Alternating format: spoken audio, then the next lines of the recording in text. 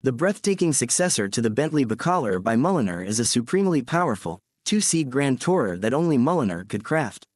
Similar to its predecessor, the car is named after a gorgeous body of water, this time, Lake Batur, a 16 square kilometers crater lake in Kintamani on the island of Bali, Indonesia.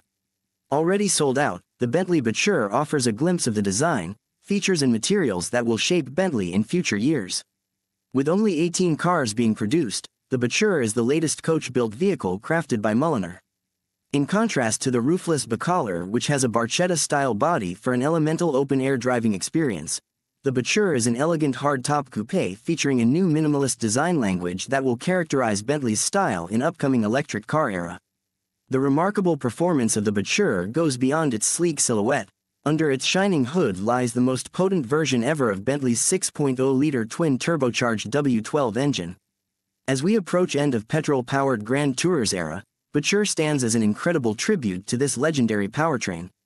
Like all coach-built cars created by Mulliner, Batur offers unrivaled luxury thanks to an impressive display of cutting-edge techniques and materials. In short words, the Batur isn't just any car. It's an exciting glimpse into Bentley's future. The engine in Bentley's Batur isn't just powerful. It's extraordinary, being exclusively updated as part of their trademark W12 lineup and producing around 740 PS output. Drivers can expect adrenaline-pumping drives surpassing even Bacalar's extreme performance levels as part of their Beyond 100 journey towards fully electrified vehicles during W12's twilight years. This model celebrates unparalleled power and refinement. Equipped with digital chassis technology perfected on Continental GT Speed, engine performance matches with speed-tuned air suspension.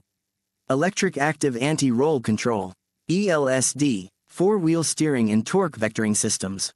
The first ever built engineering project edition known as Car Zero follows traditional Mulliner coach building conventions making sure it withstands rigorous tests both on tracks and real-world conditions with extensive 2,500 kilometers driven across Europe already under its belt.